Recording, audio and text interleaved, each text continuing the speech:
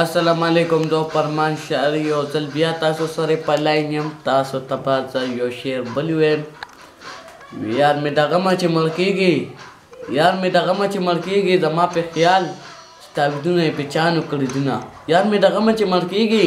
ما په خیال چې تاویدونه یې پېچانو کړي دي نه او سپېلنۍ ورته لوګی کوي چې نظر مات شي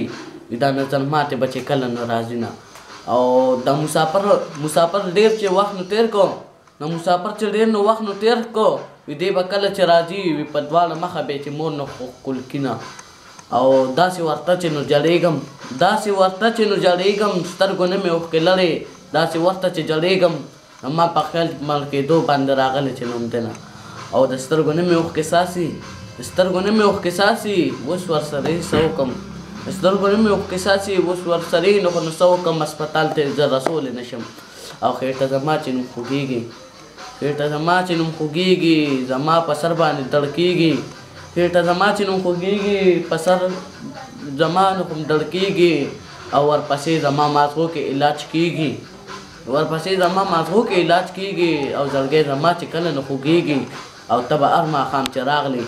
زما زړګی چې نه خوږېږي او پرمان چې کله نه هم راغی نو شاعرۍ ته چې غوږ کېدو فرمان چې کله چې نمراغې شاعرې ته یې غوږ کېده او دغه شاعري یې خو نو زده که د دماغو نه یې خو کېدو دغه شاعري یې خو نو زده که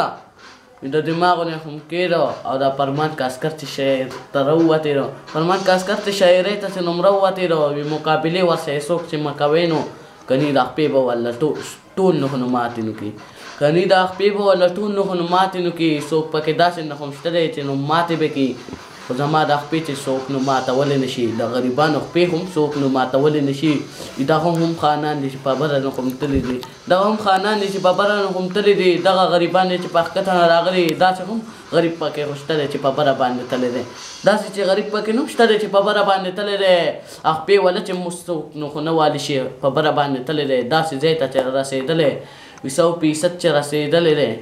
سو فیصد چې رسېدلی دی، داسې مې دا زړه نو خو اسمان ته رسېدلی دی، داسې مې دا زړه مې خو اسمان ته رسېدلی دی او یوه مزغو علاج مې نشته چې په خېټه کې مې ګړبر نو خو دي. ای په مازغو یې لار مې نشته چې په خېټه کې مې ګړ بل نو خو دې نو وسوه څه څه وکم دماغ کې مې ورو ګړ بل نو خو دې او خیر دې خیر دې زما شاعرۍ ته نو غوږ کېدی خیر دې زما نو شاعرۍ ته چې غوږ کېدی دا شاعري نو خو نو زده کې نو خو مې کېدی یو پکې نو خو نو داسې چې په اردو کې راته وویل یو خو پکې نو خو نو داسې په اردو کې راته وویل ما ورته وې چې نو په خپله له نظر بل خو شاعري مه کوه ما ورته وې چې نو پخپله له نه ځې د بل نه شاعري مه کوه خیر یې په په انګریزۍ کې راته نه وي په پښتو کې راته ووایه خیر یې انګریزۍ کې راته نه وي په پښتو کې راته ووایه دغه خو پرمان شاعر خو دن راغلی په پښتو کې درته ووایي او زه د ستاسو اجازت غواړم الله فامان پرمانه خپل پیج او دغه نوم پکې واله چې ستا اوریجنل کم پیج دی او اوریجنل کم یوټیوب چینل دی یوټیوب چینل پرمان افیشل او دا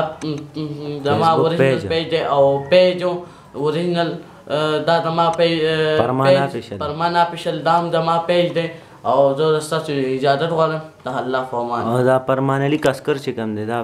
پیک پیج چې تا پسې راوتلی او دی زه دوی ته دا ویل غواړم چې زما اوریجنل پیج پرمان آفیشل